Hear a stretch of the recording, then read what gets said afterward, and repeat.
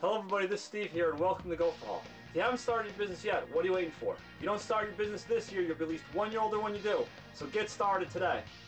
Alright, today we have a great topic. You know, as always, uh, if you get a chance, you want to learn more about the lawn care industry, get on my, uh, my forum at www.gopherforum.com or read my blog at www.lawnchat.com.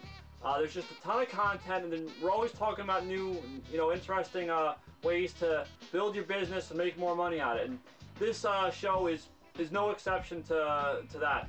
Um, this uh, show is going to deal with a question that pops up all the time, and that's uh, how to win over a property manager. So it's a very interesting topic, and lawn care business owners are always looking uh, for ways to land commercial lawn care bids. But what's the best way to do it? There are many ways to go about getting close to property managers to win bids, uh, but there's nothing like hearing it, you know, the inside scoop straight from a property manager himself. And that's uh, what we're lucky enough to do in this discussion here. That we had a, a, a property manager had been on the, the forum reading some posts, and uh, a, a lawn care business owner got on the forum as well, and, and he wrote to us and he said, "My question is, is how to get uh, commercial properties." Everyone tells me I have to go to them and they won't come to me. Uh, before we get into this though, I'd like to tell you about my business, he said. I started my lawn care business about four or five years ago with about four accounts and the first season and the second season I got up to about 10 accounts. That's all I had for the next two seasons. Uh, so for this season, he said he, he, advertised with signs and he got up uh, to 25 uh, accounts, uh, give or take. And now, he, you know, he's moved up from a 21 inch push mower to a 36 inch commercial walk behind.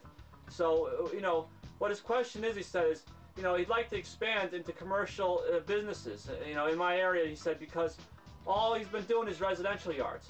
He's wondering when to start looking for commercial properties for the next season and, and how to land them. So uh, that's a great question. And here's some insight uh, shared to us uh, from a property manager. And he responded, he said, hello, I'm a property manager of 2 million square feet. I was reading this and thought I would throw in a few thoughts. Uh, the company that he said he works for prepares its budgets at the end of August, uh, beginning of September, with final revisions in October.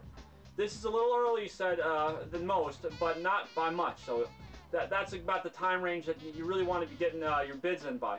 Uh, especially given today's economy, he said, we're looking at every expense harder uh, than before, he said. So one of the differences he, he did this year in accepting his bid proposals uh, was he wanted every item broken out. In the past, he would, you know, ask for the total uh, for the year, number of cuts, and what that number included. He would put together a bid package outlining what he wanted, and then he would get a number as a whole. This year, he wants every service provided broken out a la carte.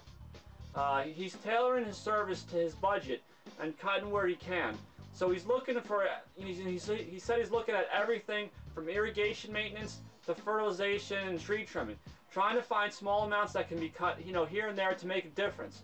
However small, he said, maybe this year he'll be only trim the trees, you know, once and fertilize uh, once instead of twice like last year. He's not sure, but he, he needs the options right now. So he's met with a lot of resistance from several contractors telling him not to cut back on fertilization or other services. But the fact of the matter is, he said, is the budget is so tight that property incomes are they're, they're so greatly reduced every dime he can squeeze out of it has a direct impact. And uh, he said those landscape contractors that he invited to bid this year tended to get his attention about six months previous. Maybe once a month sending him an email or a brochure or a phone call. He actually throws out uh, the ones that he, that he says get too overzealous, but that's just him. He said he doesn't need a call every week. Uh, once a you know month is fine, uh, and he has a lot of other things going on, but again, that's just him. So uh, he said, first off, insurance is a priority. He's in a large-scale commercial property management company, and all his contractors are required to carry at least $2 million in insurance. So he said used to take a million dollars, but now only $2 million is looked at. He also requires terms, he says.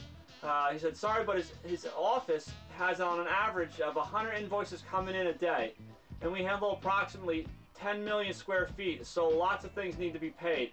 And it's just not possible, he said, to cut a check the same day or typically even a week to get someone paid. He said it requires all contractors to be uh, on a 30-day invoice. Obviously, uh, he said, they're good sized and you know a lot of smaller companies can turn invoices around faster. But if you want to work uh, for him and his company, you have to meet his terms, he said. Lastly, uh, more than, than anything, he said he, he looks at references. He requires and he will call references.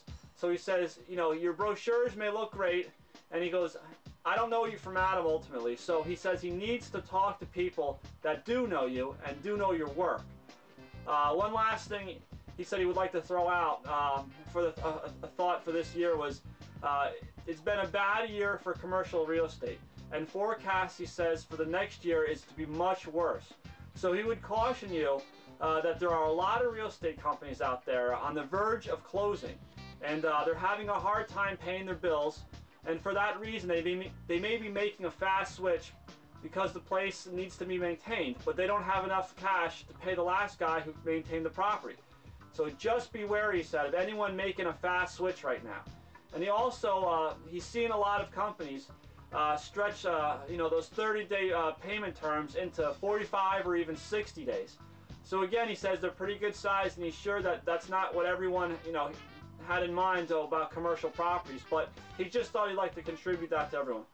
So I thought that this was a fantastic insight, and, and now that you know all this, you can take all that information and use it to your advantage when you're trying to get in the, you know, the attention of a property manager. You know, listen to this video again and pay close attention to each one of these elements because these are the things that are going to be key for you to get commercial lawn care property uh, bids and commercial lawn care property uh, acceptances on your bids. So I hope this all helped you out, and I hope that you're, you know, you're going to be out there and you're going to be landing commercial bids and get on the forum uh, Gopher Forum at www.gopherforum.com. Tell us about your bids and how everything went. Also, read my blog at www.lawnchat.com. Uh, there's so much information on there. You'll be reading for, for months, uh, and it'll help educate you. So until the next time we speak, always remember to dream it, build it, go for it. And ultimately, uh, this show wouldn't be possible if it wasn't for Gopher Software. So if you get a chance, you're a lawn care business operator, uh, you need software to run your business, even if you're just starting. The Gopher software is very inexpensive.